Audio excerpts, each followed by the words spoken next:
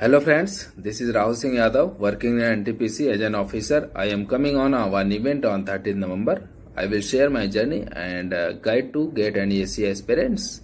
So stay tuned with us. Thank you.